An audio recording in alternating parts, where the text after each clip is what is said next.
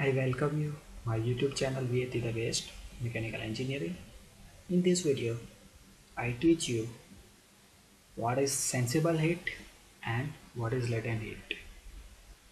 Now sensible and latent are the types of heat energy when we supply heat to the some substance that is a water or gas.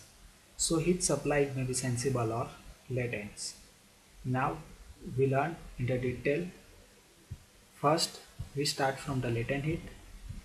Latent heat means there is a no change in the temperature but there is a change in the phase of the substance. If we are supplying heat to the any substance or water okay then its temperature is same but its phase is converted means water is converted into the steam and it is known as the latent heat. For latent heat I gave you the two examples. Now let us assume there is a 1 kg of water at 0 degree centigrade. Okay, this glass is contained the 1 kg of water at 0 degree centigrade and we are absorbing the heat from this water. Okay, we are doing the both the process either absorbing or supplying the heat okay so first we taking the example of how when the heat is absorbing then what happen? And if we supplying the heat then what happen? Now this is a one glass of water at the 0 degree centigrade and we absorbing the certain heat from this glass. Then this water is start to freeze. That means water is start to convert into the solid phase and solid phase of the water is known as the ice. Okay and it is converted into the 1 kg of ice at 0 degree centigrade. That means here temperature does not change. That is the water at 0 degree centigrade and ice is 0 degree centigrade. But its phase is changed. The water phase is the liquid and here the ice phase is the solid. So only the phase change is takes place. And what amount of the energy we require to changing this phase, it is known as the latent heat of the freezing or latent heat of the ice. Now similarly opposite processes also takes place.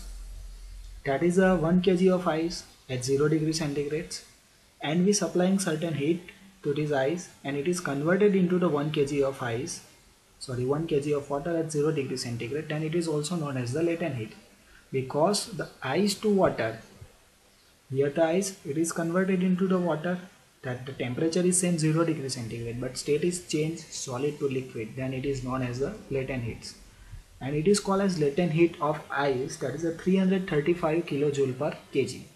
That is a 1 kg of the water and we required to convert into the ice. At that time we require 335 kilojoule per kg of the energy. That is called as the latent heat. Now second examples is for the liquid phase to the steam phase. In this example what we learned that is a water to solid phase. That is liquid to solid phase and water to ice. Second example we taking for the water to steam. That means liquid phase to the gas phase. This is also known as the latent heat. Now what is a 1 kg of water in this glass at 100 degree centigrade. And we supplying the certain quantity of the heat to this water, it is start to converting into the vapor. But its temperature does not change. We supplying the certain quantity of heat this water is converted into the 1 kg of steam at the 100 degrees centigrade. Then it is called as the latent heat of the vaporizations of the water. Okay. Similar opposite process is possible. There is a 1 kg of steam in the one container at 100 degrees centigrade and we are absorbing certain heat from that. Then it is converted into this 1 kg of water at 100 degrees centigrade. Then it is known as the latent heat because Temperature remains same here 100 degree water 100 degree steam but phase is changed liquid to steam and when it is doing the reverse process then it is steam to means vapor phase to the liquid phase. So it is called as the latent heat and amount of energy required is 2256 kilojoule per kg.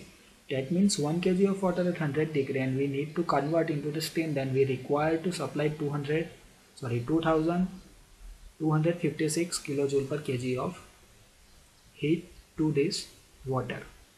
Okay.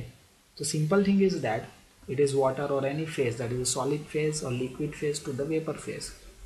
But its temperature is same and phase is changed then it is known as the latent heat. Now seconds we learn for the sensible heat. Sensible heat means there is a change into the temperature but there is a no phase change takes place. That means phase change is not there but only change in the temperature. In latent heat what happened? No change in temperature but phase changes takes place. In the sensible heat opposite is takes place. Phase change is not there but only the temperature is changed. Now this is a 1 kg of water in a glass at the 35 degree centigrade and we supplying some quantity of heat then its temperature is increased to the 36 degree centigrade. Phase is not changed. There is a liquid.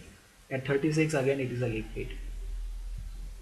Similar opposite process we take. That is a 1 kg of water at 36 degree and we absorbing some of the heat. And it is come at the 1 kg of water at 35 degree centigrade. That means phase is not changed but only temperature is changed. Then it is known as the sensible heat. And sensible heat required to change the 1 degree of the temperature is equal to 4.187 kilojoule per kg for the water. For the water. And if the quantity is increased and temperature difference is greater than 1 so simple we use the one equation that is the mcp delta t mass of the water cp 4.187 and the delta t. What's the initial temperature and temperature after heating or cooling? Okay. So that's the basic difference between the latent heat and sensible heats. I hope you understand clearly what is the difference between latent heat and sensible heats. Thank you for watching this video. If you learn then like my video share with your friends and subscribe my channels for watching the more video